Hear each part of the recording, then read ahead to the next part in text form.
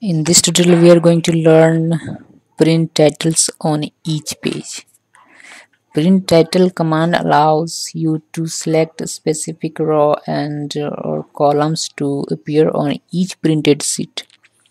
This helps when the worksheet prints into many pages since we we can have row and column heading printed on each page for easy association and readability okay.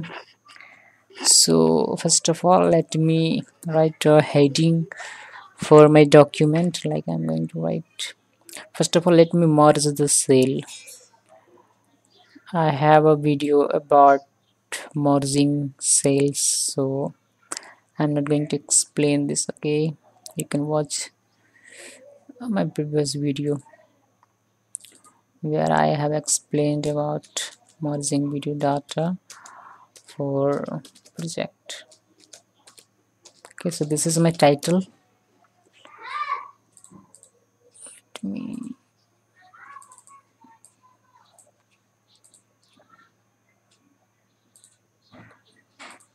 okay this is good.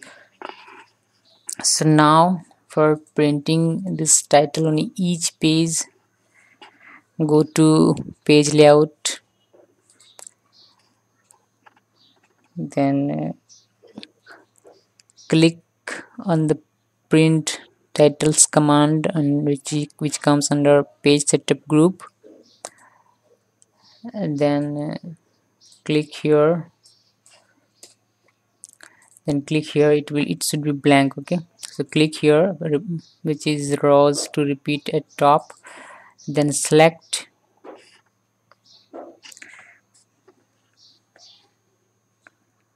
then select the row heading in the spreadsheet that you want to appear on each printed page like I want this. So I'm going to select it. After that uh, click uh, okay otherwise you can if you want a column in each page pages as a title then you can simply click here and click the column okay? But here I do not want to insert any column title in my page so I'm just going with simply raw okay raw title page. So after doing all these things click ok button. Or now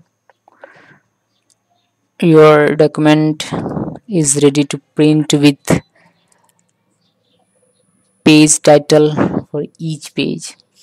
You can see this by going to print preview.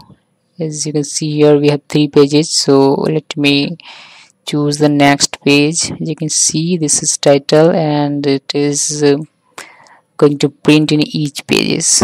Okay thanks for watching this video